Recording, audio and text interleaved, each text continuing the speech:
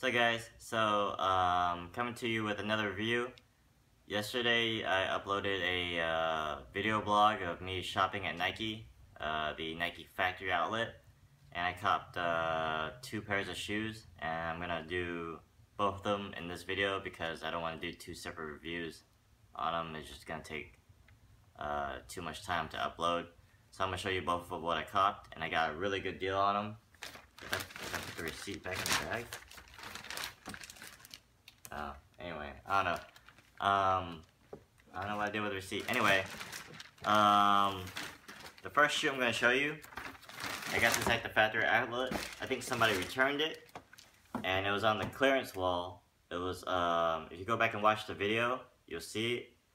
Um, it was an additional 20% off, and um, the price on it was 154 something.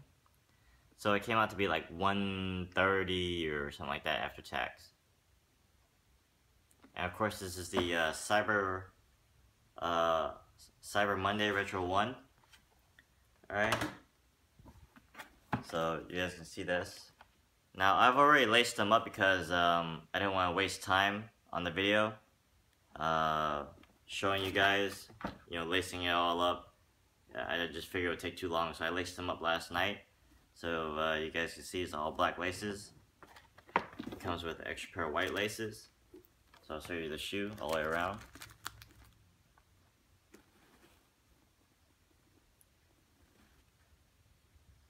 So no real bad excessive flaws. I guess maybe just the person decided that uh, it was too big or too small or maybe just decided they didn't want them or Maybe they returned them because they didn't have enough money to buy the Retro 7, Retro 11s that are coming out this weekend.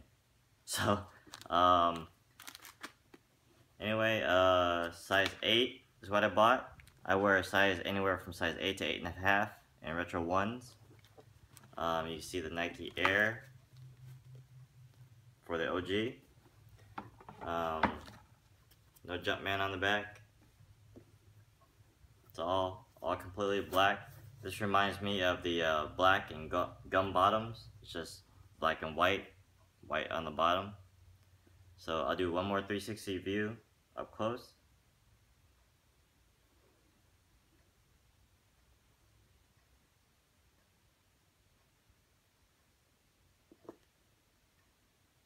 Alright, and so that's what they look like on like on there. And I'm to do a on-feet review real quick of them. Now, I was gonna pass on these shoes because uh, I have a lot of retro ones already, and um, these are still sitting on shelves here in my uh, in my area, so they didn't sell out immediately. So I could have waited to cop them later, um, but when I went into the Nike outlet, when I saw them on sale, uh, I just couldn't pass them up, so I went ahead and got them. And when I initially first tried them on, feeling this leather is actually really soft. Which kind of surprised me. Um, the other leather, like on the maybe the UNC ones, was a little bit harder. So you can see this leather is actually really, really soft. And you can see the size 8, my toe's right here. So it's kind of weird. I don't know. Maybe it ran a little bit big on this one for some reason. But I'll show you what it looks like on Fate 360.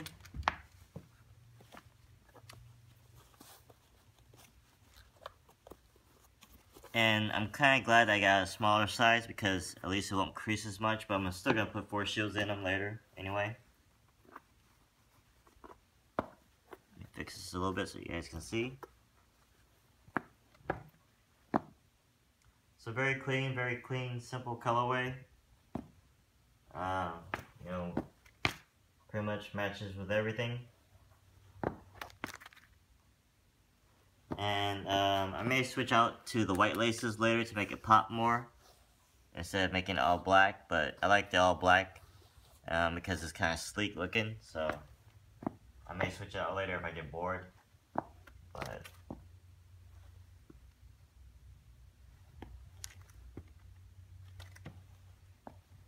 So I, I got a perfectly good pair um, at the factory outlet like I said, when I was I went to go return some shoes in the video blog that I did, and I just went to the back and I found this pair on the wall, and I was like, well, you, you know what, I'm just going to go and get them. So I returned some shoes thinking I was going to save some money, and then I ended up copping some shoes. So that's what these look like on feet.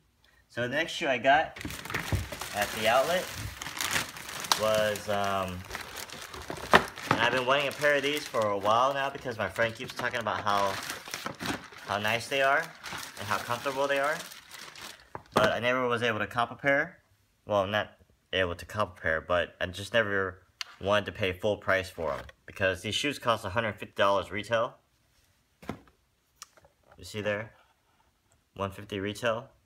But um somebody must have returned them and when they return them and they put them on the shelves, they rip the box tops off of them at the factory outlets. I wish they wouldn't do that, but they do that to, I guess, show the shoe um, because they can't flip it under.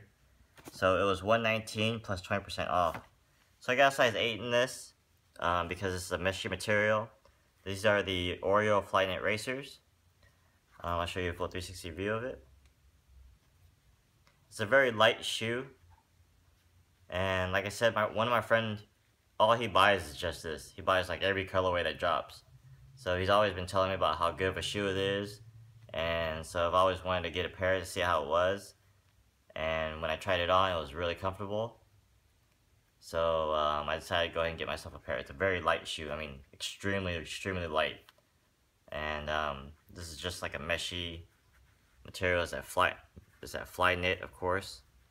Um, I don't think any of it's 3M, but I don't have the flash on anyway, so I couldn't tell you if it's 3M or not. But I'm going to put them on, so on the inside it says Racing. Racing Road. And you see size, my size is size, size 8. Normally I wear a size 8.5, but 8.5 would have been too big for me. So uh, size 8 fits me perfectly on these. So, I really like this colorway. Um, the other colorways are a little bit, you know, flashy. But um, this Oreo colorway was uh, more simple and plain looking. So that's why I kind of got, I wanted this pair more than the other ones. But I know a lot of people like the uh, rainbow colorways and all those other different colorways. But um, I just wanted the plain simple Oreo colorway. So my friend was right. These shoes are really comfortable.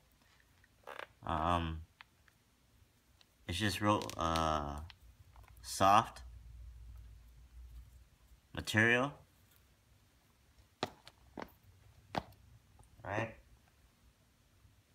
Very clean looking.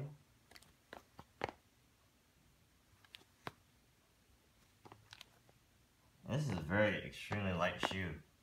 I think this is probably one of the lightest shoes I've had. So, I know it probably makes my foot look really, really small, but um, I think it's a dope shoe. I really wanted this shoe. I just didn't want to pay 150 for it um, getting it on sale for 119 plus 20% off. The shoe came out to be like $96 after tax. So in the outlets, um, if you spend over $200, they give you a $50 gift card to use if you spend over 100 so uh, in January. So uh, you might want to go check out your outlets. And if you spend over 200 in January, you can go back there if you purchase over 100 again you can use that gift card coupon uh, and they'll give you $50 off. So you might want to check that out. But this is what the uh, Oreo Flyknit Racers look like. And these are really dope. I don't have to worry about them creasing. These are running shoes, of course. Um, the material is really soft. I don't know um, if they have, I don't think they use any air units in it. I can't really feel it or not, but it feels more like a, like a Lunarlon or something like that, or, you know, like foam. So, if you know if there's any air or zoom units in the bottom of these, let me know. Because uh, these are my first pair of Flyknit racers. So, I'm not real familiar with it. So, Uh, let me know if there are units in the bottom, but I don't think there are because I think this is just one solid uh, foam sole. So, anyway, that's what they look like on feet. So I'm going to wrap this video up. Um, hope you guys enjoyed the video. As always, thanks for watching. I just wanted to show what I got um, at the Nike factory outlet because I felt like this was a really good deal. Uh, being able to cop the Cyber 1s and the Oreos that I really wanted and not having to pay full price, can't really beat that. So, uh, thanks again for watching, comment, rate, subscribe, and hit that thumbs up button. Peace, guys.